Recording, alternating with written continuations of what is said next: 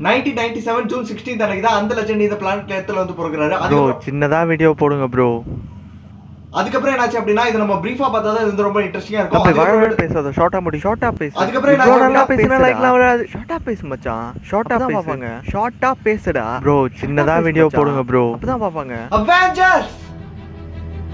Assemble. Welcome to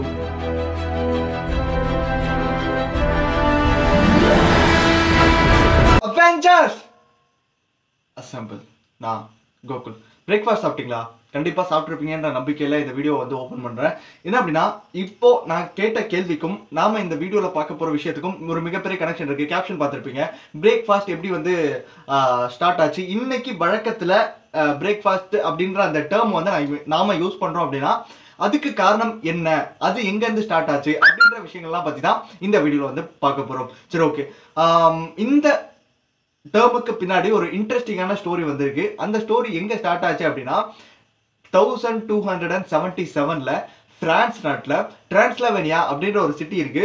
so அந்த சிட்டியில் ஒரு மிகப்பெரிய பணக்காரன் வந்து இருக்காரு. ஒரு பில்லியனரி அப்படின்னு வந்து சொல்லலாம்.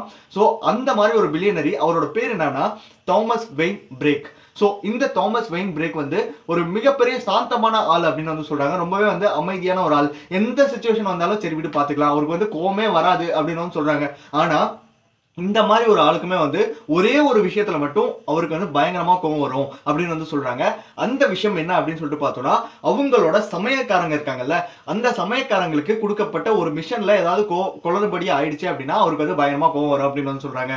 என்ன அப்படின்னா இவரோட மார்னிங் மீல் வந்து இருக்குல்ல அதாவது இவர் வந்து இவர் எடுத்துக்கிற அந்த காலை உணவு அது அது வந்து சமைக்கிற நேரம் வந்து கரெக்டா ஒரு குறிப்பிட்ட டைம்குள்ள தான் வந்து சமைக்கணும் அப்படின்னு சொல்லிட்டு இவர் வந்து ஆர்டர் கொடுத்துருவாராம். ஸோ இப்போ எக்ஸாம்பிளுக்கு பார்த்தோம்னா ஒரு எட்டு மணி மணில இருந்து எட்டரை அப்படின்னு சொல்லிட்டு எட்டு டு எட்டரை சமைக்கிற டைம் அப்படின்னு சொல்லிட்டு அவங்களோட சமையக்காரர்களுக்கு ஆர்டர் கொடுத்தாங்க அப்படின்னா அந்த டைமுக்குள்ள அவங்க வந்து சமைச்சு முடிச்சிடணுமா? சப்போஸ் அந்த ஏழு ஐம்பத்தி ஒன்பதுக்கும் அந்த சமையலை வந்து ஸ்டார்ட் பண்ணக்கூடாது. எட்டு முப்பத்தி ஒன்று வரைக்கும் கூட அந்த சமையல் வந்து ஆஹ், அந்த வேலைகள் வந்து நிலுவையில இருக்கக்கூடாது. இந்த மாதிரி ஏதாவது குளறுபடி ஏதாவது ஒரு இடத்துல ஆயிடுச்சு அப்படின்னா இவர் வந்து மனுஷன் செம்ம காண்டாயிடுவாரு அப்படின்னு வந்து சொல்றாங்க. ஏன் அப்படின்னா இந்த மாதிரி குறிப்பிட்ட டைம்குள்ள சமைக்கிறது ரொம்ப நல்ல விஷயம் அப்படின்ற மாதிரியான ஒரு மைண்ட் செட்டுக்கு யார் விதைச்சா எப்போ விதைச்சாலாம் தெரியல. அது வந்து அவரோட மைண்ட் செட் ஸோ அப்படி அந்த சமயக்காரர்கள் வந்து தவறிட்டாங்க அப்படின்னா அதாவது அந்த டைமுக்குள்ள குக் பண்ற தவறிட்டாங்க அப்படின்னா மனுஷனுக்கு செம்மக்கம் வந்து இவர் வந்து கூட்டு போயிட்டு செம்மையான புதுசு புதுசா தண்டலாம் தான் கொடுப்பாராம். ஆஹ் அந்த இம்சையரசன் இருபத்தி மூணாம் புலிகேசியில வந்து வடிவேல் வந்து பயங்கரமான தண்டலாம் வந்து கொடுப்பார்ல. ஸோ அந்த மாதிரி அந்த அளவுக்கு வந்து இன்னும் வேற லெவல்ல வந்து கோவம் வரும் அப்படின்னு வந்து சொல்றாங்க. ஆஹ் சரி இப்போ இந்த பிரேக் ஃபாஸ்ட் எப்படி வந்துச்சு அப்படின்னா இவரோட பேர் என்ன? தாமஸ் வெயின் பிரேக் கரெக்டா ஸோ இவங்களோட சம் அந்த சமையல்காரங்க இருக்காங்கல்ல அவங்க வந்து இவரை கிண்டல் பண் பண்ணுறதுக்காக யூஸ் பண்ணுற டேர்ம் தான் வந்து பிரேக் ஃபாஸ்ட் அப்படின்னு வந்து சொல்கிறாங்க அதாவது பிரேக் அப்படின்ற ஒரு ஆளுக்கு ஃபாஸ்ட்டாக ஃபுட் வந்து வேணும். அப்படின்றத ஃபாஸ்ட்டாக எப்படி சொல்லியிருக்காங்க அப்படின்னா ஷார்ட்டாக எப்படி சொல்லியிருக்காங்க அப்படின்னா பிரேக்ஸ் ஃபாஸ்ட் பிரேக்கோட ஃபாஸ்ட் அப்படின்னு வந்து சொல்லியிருக்காங்க. ஸோ இது அப்படியே நாளடைவில் வந்து பிரேக் ஃபாஸ்ட் பிரேக் ஃபாஸ்ட் அப்படின்ற ஒரு விஷயம் வந்து பிரேக் ஃபாஸ்ட் பிரேக் ஃபாஸ்ட் அப்படின்றது வந்து ஆயிடுச்சு. ஸோ இதுதான் இதுக்கு பின்னாடி இருக்கிற ஒரு மிகப்பெரிய இன்ட்ரெஸ்டிங்கான விஷயமா எனக்கு பட்டுச்சு. ஸோ அது உங்களுக்கு உங்கள்கிட்ட ஷேர் பண்ணிட்டேன். ஸோ இந்த ஸ்டோரி நம்பிட்டீங்களா? நீங்கள் நம்பியிருந்தீங்கன்னா எனக்கும் சந்தோஷம் தான் ஆக்சுவலி இது உண்மை கிடையாது. ஆக்சுவலி உண்மை என்ன அப்படின்னா பிரேக்ஃபாஸ்ட் அப்படின்னா பிரேக்ஃபாஸ்ட் அப்படின்ற ஒரு அந்த பேர்லேயே வந்து மீனிங் இருக்கு. ஃபாஸ்ட்னா என்ன? ஃபாஸ்டிங்னா என்ன? நம்ம அந்த ஃபாஸ்ட் அப்படின்றத வந்து எதை சொல்லுவோம் அப்படின்னா விரதம் அப்படின்னு வந்து சொல்லுவோம். பிரேக் அப்படின்னா எதையாவது வந்து உடைக்கிறது எதையாவது வந்து கட் பண்ணுறது ஸோ இதுதான் வந்து பிரேக் ஸோ ரெண்டுத்தையும் இணைச்சு பாருங்க. பிரேக் பிரேக் கூட்டல் ஃபாஸ்ட் பிரேக்ஃபாஸ்ட் அவ்வளோதான் ஸோ என்ன அப்படின்னா நைட்டு நம்ம வந்து தூங்க போகிறோம்ல நைட்டு நம்ம தூங்க போகும்போது சாப்பிட்டு தூங்குவோம். அந்த காலையில் அதுக்கு நைட்டுக்கும் அடுத்த நாள் காலையில் எழுந்து சாப்பிட்ற அந்த இடைப்பட்ட காலம் இருக்குல்ல அதுவே வந்து ஒரு குட்டியான ஒரு விரதம் மாதிரி தான் அந்த நைட்ல யாரும் வந்து பெருசாக வந்து சாப்பிட மாட்டாங்க. ஸோ அதனால தான் அந்த அடுத்த நாள் அந்த அந்த நாள்ல சாப்பிட்ற முதல் உணவை வந்து பிரேக் ஃபாஸ்ட் அப்படின்னு வந்து சொல்றாங்க. அந்த விரதத்தை வந்து பிரேக் பண்ணுறது தான் வந்து பிரேக் ஃபாஸ்ட் அப்படின்னு வந்து சொல்றாங்க. ஸோ இதுக்கு முன்னாடி சொன்னது சும்மா உள்ளாய்க்கு அப்புறம் இந்த பிரேக்ஃபாஸ்ட் வந்து இந்த டேர்ம் வந்து டெவலப் ஆனதுக்கு இன்னொரு இன்ட்ரெஸ்டிங்கான விஷயம் இருக்கு. இது வந்து உண்மை. ஆக்சுவலி ஃபிஃப்டீன்த் சென்ச்சுரிக்கு முன்னாடி வரைக்கும் இந்த டேர்ம் வந்து அவ்வளோவா வந்து பாப்புலர் கிடையாது. அதுக்கு முன்னாடி வந்து யாரும் அந்த அளவுக்கு பிரேக்ஃபாஸ்ட்டாக காலையில் தான் சாப்பிடணும் அப்படின்ற மாதிரியான எந்த நிபந்தனையுமே இல்லை அப்படின்னு வந்து சொல்றாங்க.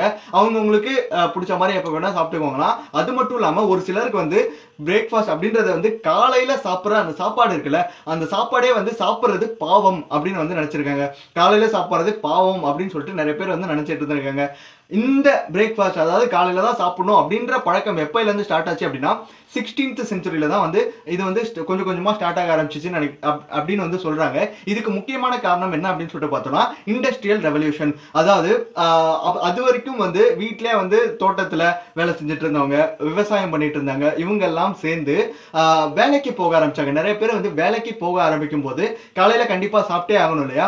ஸோ இப்படி சாப்பிட்டே ஆகணுன்றதுக்காக அந்த பிரேக்ஃபாஸ்ட் அப்படின்றது காலையில் தான் சாப்பிடணும் அப்படின்ற ஒரு விஷயம் வந்து கொஞ்சம் கொஞ்சமா போய் இன்னைக்கு பிரேக்ஃபாஸ்ட் அப்படின்றது வந்து ஆஹ், நாம வழக்கமா யூஸ் பண்ற ஒரு நார்மலான ஒரு வேர்ட் ஆயிருச்சு. ஸோ சிக்ஸ்டீன்த் செஞ்சுரியில ஆரம்பிச்சு இப்படியே போயிட்டு இருந்த ஒரு விஷயம் தான் நைன்டீன்த் செஞ்சுரியில இன்னும் கொஞ்சம் பொலிவாகுது அப்படின்னு வந்து சொல்லலாம். எப்படி அப்படின்னா நிறைய அந்த சீரியல்லாம் இருக்குல்ல கெலாக்ஸ் கார்ன்ஃபிளெக்ஸ் இந்த மாதிரியான விஷயங்கள்லாம் இருக்குல்ல அதெல்லாம் வந்து லான்ச் பண்ண ஆரம்பிக்கிறாங்க. நிறைய ப்ராடக்ட்ஸ் வந்து இந்த மாதிரி வர ஆரம்பிக்குது.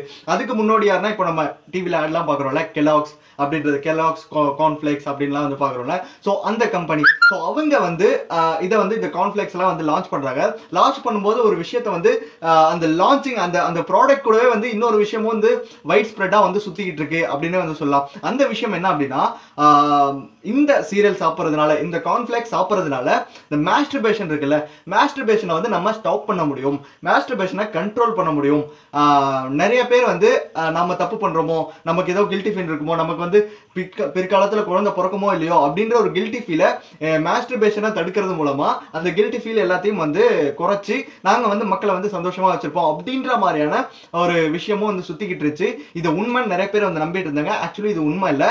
இந்த கான்ஃப்ளெக்ஸை சாப்பிட்றதுனாலலாம் வந்து மாஸ்டர்பேஷன்லாம் வந்து கண்ட்ரோல் பண்ண முடியும் அப்படின்னு வந்து நிறைய டாக்டர்ஸ்க்கு இதுல உடன்பாடு இல்லை. அதுவும் உண்மையும் இல்லை அப்படின்னு வந்து சொல்றாங்க.